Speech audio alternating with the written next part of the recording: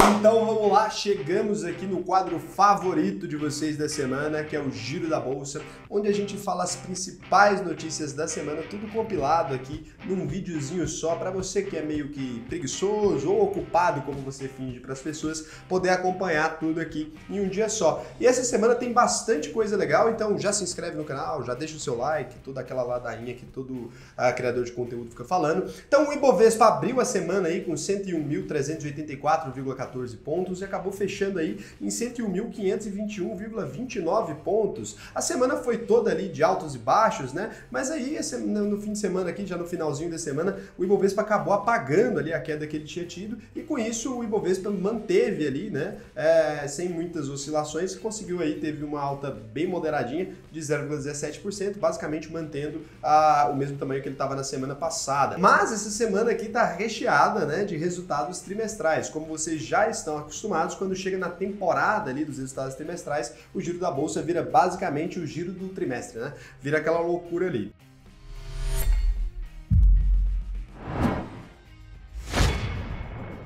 Cogna, né? Cogna, é, COGN3, muita gente aí está investindo na empresa, né? Empresa ali do ramo de educação, fundada em 1966. O IPO dela foi aconteceu em 2007, né? Ensino preparatório, pós-graduação, supletivo, EAD, a coisa toda, né? Ela é queridinha aí da maioria dos traders, né? Foi uma empresa ali que oscila muito e com isso a, o público dela, o grande público dela aqui não é dos investidores de longo prazo, como a gente é aqui no canal. A maioria das pessoas que movimentam a Cogna ali são pessoas que investem investem para especulação, né? Nem são investidores, são especuladores mesmo, que querem ali ganhar a oscilação dela. A Cogna divulgou os resultados do segundo trimestre de 2020 e acabou jogando um de água fria aí na galera, né? A Cogna Educação então divulgou na quinta-feira ah, o resultado do segundo trimestre e os números mostraram os impactos mais severos da pandemia, da pandemia aí e vieram abaixo do esperados em termos de receita líquida, EBITDA e lucro líquido também foi bem complexo. O principal destaque negativo, então, foi essa provisão que ela teve que fazer ali para devedores duvidosos, né, no valor de 328 milhões de reais. Ela teve que fazer isso nesse trimestre por conta aí a, do, da, do aumento na inadimplência, né, do possível aumento da inadimplência nos próximos trimestres devido ao Covid-19.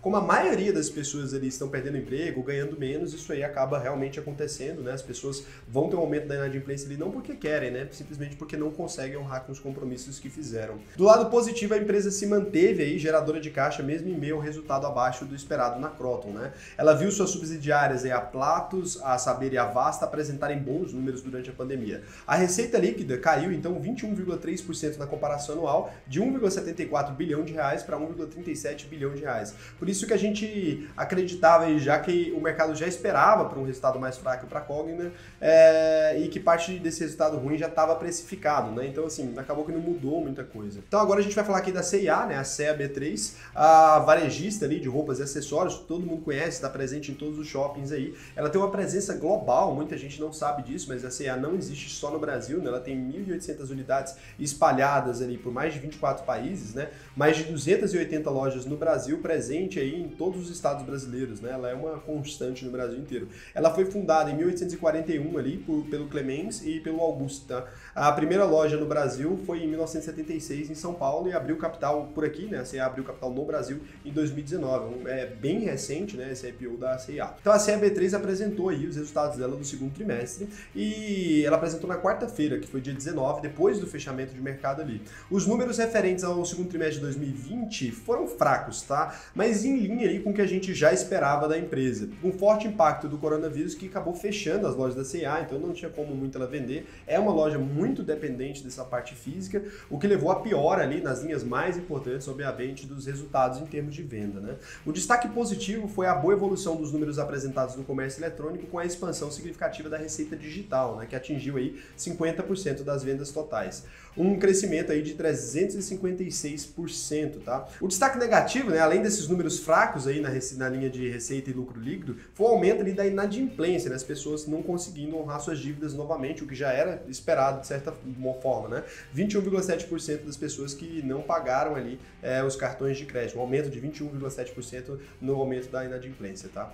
Então, na última linha, o resultado líquido foi um prejuízo aí de 192 milhões de reais, tá? Revertendo o lucro que ela tinha tido no segundo trimestre de 2019 de 25,8 milhões, né? Então, uma comparação aqui desse ano com o ano passado, é, é chocante ver ah, o tanto que a coisa se deteriorou ali, né? Mas apesar disso tudo, a gente espera aí um impacto positivo nas ações da CIA. E você vai falar assim, Raul, por que diabos teria um resultado positivo nas ações da CIA? É que quando você vê ali um crescimento de 356% né, é, na receita digital, é simplesmente incrível que a empresa tenha conseguido atingir 50% das vendas, porque ela era muito dependente da parte física. Então foi simplesmente impressionante o resultado da CIA aqui e acabou agradando o mercado aí, de certa forma, e levando uma alta bem expressiva no preço das ações, é, que acabou permanecendo aí com otimismo. Tá? Agora a gente vai falar aqui da Sabesp, né, a SBSP3, né, uma empresa, a empresa que é responsável ali pela, pelo saneamento e tratamento de água da maior cidade do Brasil, que é São Paulo, né? É, ela tem fornecimento de água, coleta de esgoto, tratamento de esgoto, está presente em 372 municípios do estado de São Paulo, além de também na cidade de São Paulo. Ela tem ali 28,1 milhões de pessoas abastecidas com água, um número absolutamente impressionante, né? Para vocês terem uma ideia, o estado onde eu vivo, que é o estado de Goiás, né? Ele tem menos de 5 milhões de, de habitantes, né? E, e a Sabesp atende 28,1 milhões. É loucura. Ela atende também 24,5 milhões de pessoas com coleta de esgoto, né? E aí na hora que a gente vê é, a diferença desses dois números, aí a gente vê que tem muito que expandir ainda para todo mundo ter coleta de esgoto dentro de casa, que é uma coisa importantíssima que infelizmente a gente ainda não tem hoje, né? É, em todas as casas do Brasil. Então a Sabesp, a SBSP3, né, se posicionou aí sobre a capitalização da empresa, uma coisa que estava todo mundo esperando. Ela emitiu ali na quinta-feira um fato relevante ali para esclarecer as declarações feitas pelo governador do estado de São Paulo, que é o João Dória, sobre a capitalização da empresa em um evento privado do Banco Santander na manhã de quarta-feira 19. O documento foi uma solicitação da Comissão de Valores Imobiliários, é a CVM, ou seja, ah, ficou com essas conversinhas, a CVM já dá aquela solicitada ali, ela chega junto mesmo, né? E a empresa soltou o seguinte comunicado após a consulta ao governo estadual de São Paulo, ah, que é o acionista controlador sobre o assunto. Não há decisão tomada sobre o modelo de reorganização societária da Sabesp, uma vez que o grupo de trabalho constituído pelo Conselho Diretor do Programa Estadual de Desestatização, em 24 de abril de 2019, não concluiu as suas atividades, estando no aguardo da análise dos vetos do Congresso, pelo Congresso Nacional, da Lei de número 14.026, né, de 15 de julho de 2020, que atualiza o marco legal do saneamento para dar continuidade ao trabalho, aos trabalhos. Né? Então ela está esperando ali é, a análise desses vetos ali. Então, Magazine Luiza, né? Magalu 3 ali, uma empresa que não para de crescer, a gente não sabe o que vai acontecer com a Magalu, né? Ela sempre é a próxima Magalu. Eu faço essa piada desde quando eu criei o canal e até hoje tem sido assim, né? O povo fica sempre perguntando qual que é a próxima Magalu, e a Magalu, aparentemente, ela sempre é a próxima Magalu, né? Então, a maior aí do varejo eletrônico no Brasil, a primeira a implementar com eficiência é, técnica mesmo, Omnichannel no Brasil, mais de 15 centros de distribuição, alguns totalmente automatizados, mais de 20 mil funcionários ali, fundada em 1957 em Franca, né, São Paulo, abriu capital em 2011, é dona da Netshoes, é dona da Zatini, tem um marketplace super eficiente aí, é, assustou até a Amazon, né? Quando chegou aqui acharam que ia ser fácil passar em cima dela, não foi tão simples. Eu mesmo pensei que ia ser bem complicado para a Magazine Luiza, mas ela mostra que ela tem se superado bastante, né? Mas agora a gente vai pro resultado dela aqui. Será que veio bom, né? Então a Magazine Luiza acabou apresentando aí os resultados dela na segunda-feira, né? Ah, do segundo trimestre de 2020. Em geral, o resultado foi bom e acima das expectativas, tá? Os números ah, demonstram um forte impacto aí nas vendas do varejo físico devido ao fechamento das lojas, tá? Durante boa parte do trimestre. Mas ela também trouxe aí um bom desempenho, então, nas linhas do varejo eletrônico, com crescimento acima do esperado por nós e pelo mercado, né? O principal destaque positivo aí, então, da Magazine Luiza, né, foi essa venda bruta total, que a gente chama de GMV do e-commerce, né? O GMV totalizou aí 6,722 bilhões, aí batendo todos os recordes da empresa, um crescimento aí na comparação anual de 182%, bem modesto, né? Um crescimento de 64% no trimestre também, ah, foi bem expressivo, né? Os, os crescimentos foram muito acima do esperado e por isso o resultado da Magazine Luiza foi bom e a gente espera um impacto positivo aí nas ações de Magalu 3 no curto prazo. Agora é o seguinte, cara, o pessoal da Levante tá fazendo um lançamento novo lá, uma série de vídeos gratuitos que eles vão estrear nessa semana. Você pode se inscrever aqui embaixo, eu recomendo vocês darem uma olhada, é muito bom sempre a gente ficar ah, mais é, informado ali e esse conteúdo tá particularmente muito legal, né? É, eu não tenho acesso ao conteúdo inteiro ainda, eu perguntei para eles ali, eu consegui ver o primeiro episódio, mas não consegui ver o restante, assim como vocês, mas o primeiro episódio está bem legal, então se vocês clicarem aqui, acho que hoje, já no sábado, já deve tá ter liberado mais alguma coisa e tudo, então dá uma clicada aqui, vê no primeiro link, o conteúdo tá bem legal. Eles são patrocinadores aqui do canal e, é, e eu gosto muito do conteúdo dos caras, eles sempre dão os relatórios para vocês aí toda semana, quem já conhece o canal tá acostumado, mas esse em especial ficou muito bacana, né? Agora chega de resultado trimestral, né? Vamos falar aqui das principais notícias aqui e tem algumas que eu sei que vocês estavam ansiosos para ver, mas aqui já que a gente deu essa pausa, cara, aproveita, se inscreve no canal, né? Não fica ali, ah meu Deus, sonciando aqui, porque você vai acabar perdendo os vídeos e tem vídeo legal a semana toda, tá? Então, Centauro, CNTO3 aí, né? Essa que empresa que a gente é sócio, estamos junto nessa. Ela é uma empresa ali do varejo de artigos esportivos, ela tem uma parceria com a Nike grande, né? E finalmente chegou aquela resposta que a gente estava esperando, essa resposta que eu sofri com isso, né? O CAD finalmente confirmou a aquisição da Nike no Brasil aí. Eu fiz um vídeo na semana sobre isso. O grupo SBF aí, que é dono da Centauro no Brasil, emitiu na sexta-feira passada um fato relevante, anunciando que o Conselho Administrativo de Defesa Econômica, o CAD, né, aprovou a aquisição da Nike no Brasil sem restrições, ou seja, do jeito que o acordo estava, bonito, gostoso. O comunicado esclarece, contudo, que a referida decisão ainda está sujeita a recurso por terceiros interessados ou a vocação do ato de concentração por conselheiros do Tribunal Administrativo do CAD pelo prazo de 15 dias da data de publicação da decisão.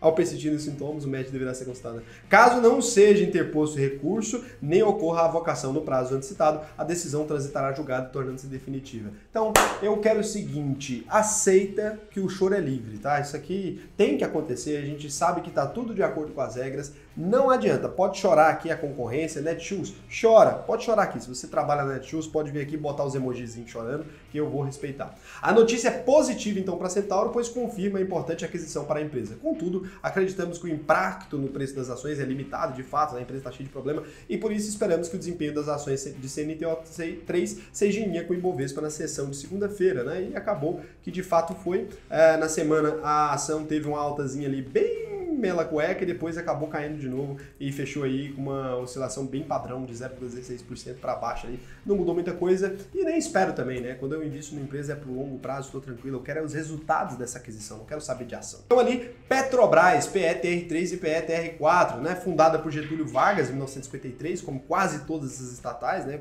Getúlio fundou IRB, Getúlio fundou tudo quanto é coisa que tem nesse país aí de empresa estatal que você imaginar, a Vale, acho que ele fundou também. Ele fundou tudo, e a Petrobras também. Então ela, a empresa ali que você não conhece, que vive num buraco, né, e nunca viu ali a falar da PETR3, PETR4, ela é uma empresa de exploração e produção é, de petróleo, né, uma estatal, é do Brasil, ela, gás e energia, ela faz o refino, transporte e comercialização, e ela também tem ali um braço de energia renovável, acredito. Então, produção de petróleo e gás da Petrobras volta a crescer. A Petrobras registrou um aumento aí de 2,8% na sua produção mensal de petróleo no Brasil na comparação em relação a julho do ano passado. De acordo com os dados da Agência Nacional de Petróleo, né, a ANP, a estatal produziu em média 2,297 milhões de barris diários, é por dia isso aqui. Terceira maior média mensal da história da empresa, né, atrás dos volumes produzidos em janeiro de 2020, 2,32 milhões de barris por dia, e novembro, 2,33 milhões de barris por dia. Então, assim,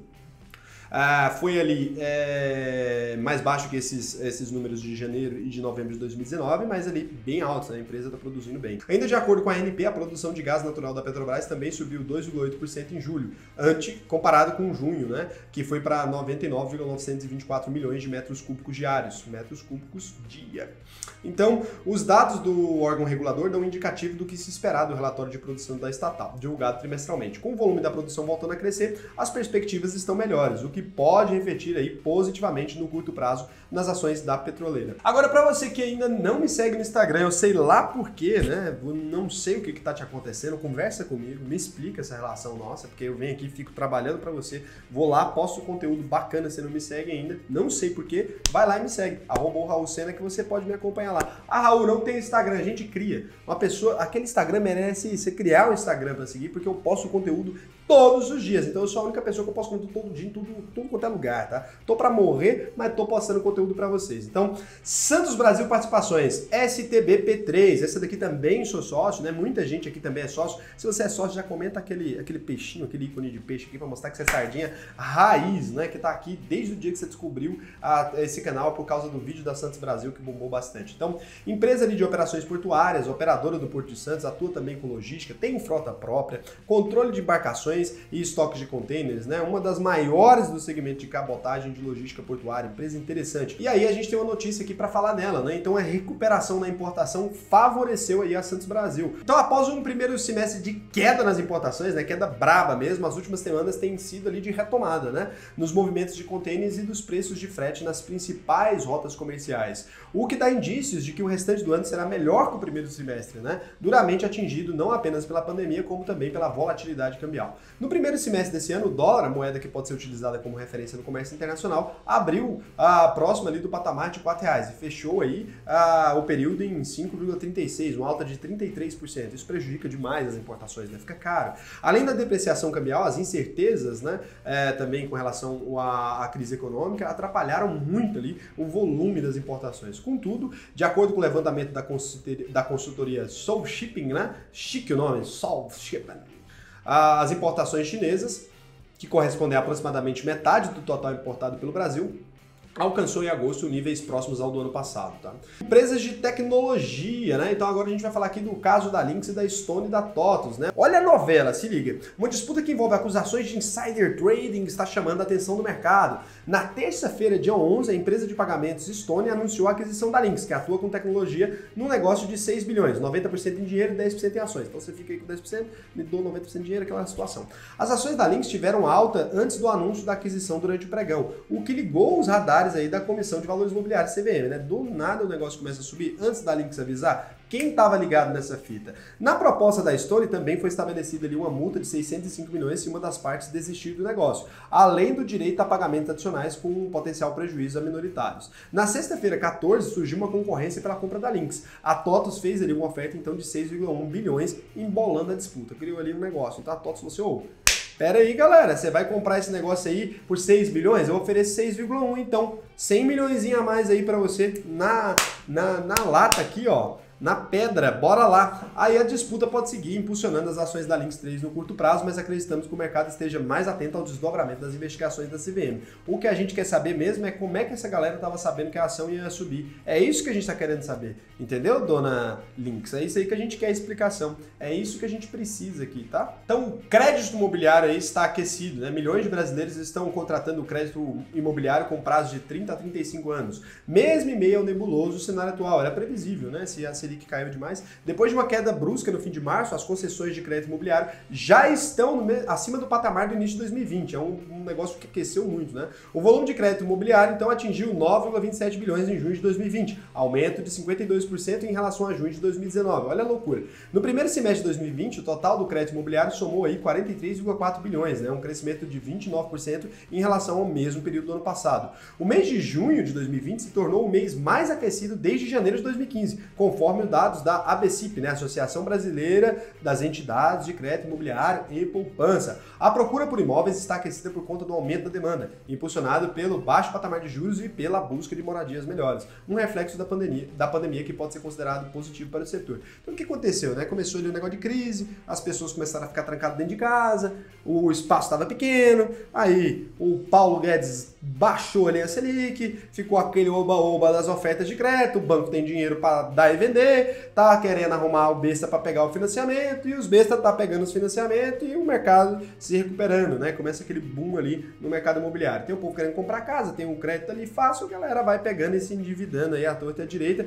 e o preço dos imóveis vai aumentando ali com a especulação imobiliária, né? Então, de olho nos indicadores. A expectativa mediana de inflação dos consumidores brasileiros para os próximos 12 12 meses, registrou queda de 0,2 ponto percentual em agosto e recuou para menos 4,23 atingindo um mínimo, um novo mínimo histórico, né? Em relação ao mesmo mês do ano anterior, alguma redução ali de 0,8 ponto percentual, informou a Fundação Getúlio Vargas, né, a FGV, na manhã dessa sexta-feira. As expectativas para a inflação caíram junto a consumidores de todas as faixas de renda, né? Segundo a FGV, 57,5% dos consumidores projetaram valores abaixo da meta da inflação de 4% esperada para 2020. A dos consumidores que esperam inflação acima de 5,5%, o teto da meta da inflação, caiu 1,8 ponto percentual, recuando de 30,1% para 28,3%. A menor parcela nos seis meses. Não sei se eu acredito muito nessa galera aí não, hein? Muita oferta de dinheiro no mercado, taxa Selic lá embaixo, pessoal imprimindo dinheiro igual louco, acho que a inflação vai subir. Tá no, no médio prazo aí. Então, um beijão o vídeo de hoje foi só. Espero que vocês tenham gostado. Já deixa aquele likezaço, já se inscreve no canal, já comenta. Não, não comenta não. Ia sortear um livro para vocês, mas vou deixar para o próximo vídeo. Te espero então no próximo vídeo segunda-feira. Um beijo.